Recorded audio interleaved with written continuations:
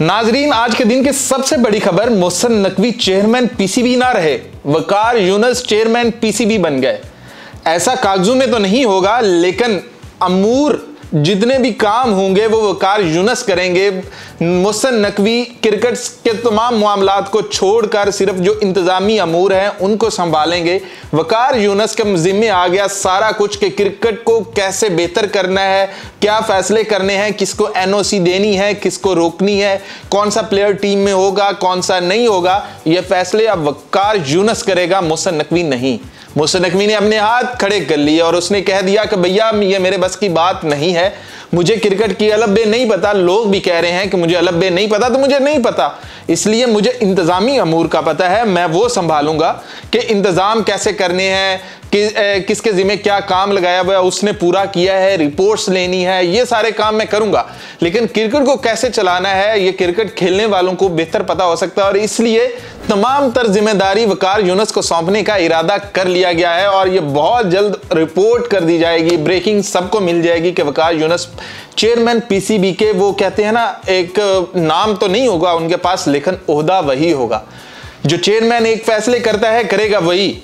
अब जो लड़ाइयाँ हो रही हैं टीम के अंदर, उनको सुलझाना कैसे है, उनको लाना कैसे है, जो कल्प्रिट्स हैं, उनको बनाना, सामने कैसे अवाम के लाना है, ये तमाम सर, जो भी मामलात हैं, ये सारे वकार यूनस देखेंगे। तो ये एक तरफ़ से अच्छी बात भी है कि मोहसन नकवी के बारे में यही कहा जाता था कि भैया, उसे क्रिकेट के बारे में पता नहीं है। वो एक एडमिनिस्ट्रेशन का बंदा है और उसे क्रिकेट के मामला पर लगा दिया गया है तो वो कभी भी बेहतर नहीं कर सकता। तमाम हलकों में आवाज़ें यही बुलंद हो रही थी कि जो एडवाइजर लगाया हुआ है चेयरमैन पीसीबी ने, वो इस काबिल नहीं और वो झूठ बोलता है। पीसीबी के साथ चेयरमैन पीसीबी के सामने अपने बारे में टीम के बारे में सारी रिपोर्ट्स गलत देता है। मोहसन नकवी ने तो सिर्फ़ वो रिपोर्ट्स पढ़कर अपना फैसला सुनाना होता है ना। आपने देखा था कि मोहसन नकवी ने अपनी तमाम तर जितनी भी जिम्मेदारियाँ थी, टीम की, वो वहाब रियाज को सौंपी और वहाब रियाज ने क्या किया? एक वर्ल्ड कप के टूर को पिकनिक टूर बना दिया फैमिली टूर बना दिया और फिर उसके बाद जब मोहसन नकवी ने कहा कि यार ये तुमने क्या किया? तो उसने कहा कि यार कुछ नहीं, इतना बड़ी बात नहीं है।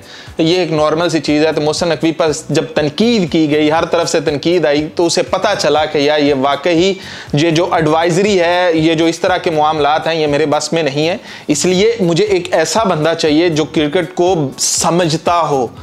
जिसने कप्तानी भी की हो, जिसने चेयरमैन भी रहा हो, यानी कि जिसने कोच भी रहा हो, जिसने टीम में खेला भी हो, जो टीम की रीढ़ की हड्डी भी रहा हो, वो आएगा तो वो सबसे बेहतर खेलेगा।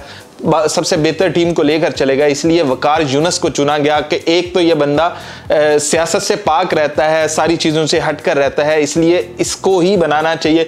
और वकार यूनस का एक और फ़ायदा होगा कि जितने भी हम, वो फास्ट बॉलर की एक, वो चेन जो हम खो चुके हैं ना, कि हमेशा पाकिस्तानी टीम के अंदर फास्ट बॉलर्स रहते थे, वो अपनी जादू दिखाते थे तो वो जादू कहीं गुम सा हो गया। तो वकार यूनस से बेहतर वो जादू भरने वाला या जादूगर कोई नहीं है। वकार यूनस अपने जितने भी हमारे यंग फास्ट बॉलर आ सकते हैं, वो टैलेंट को समझ सकता है। पाकिस्तान में अब इस टाइम एक ही कमी है और वो एक तो मिडल ऑर्डर वो तो हमारा अजल से मसला है ना। और दूसरी बॉलिंग है कि हम कोई भी स्कोर अगर हमारी टीम कर लेती है तो हमारे बॉलर्स में इतना वो तप्पड़ नहीं है कि उसको रोक सके। तो वकार यूनस उस टैलेंट को भी हंट कर सकता है, समझ सकता है कि इसके अंदर कितनी काबिलियत है।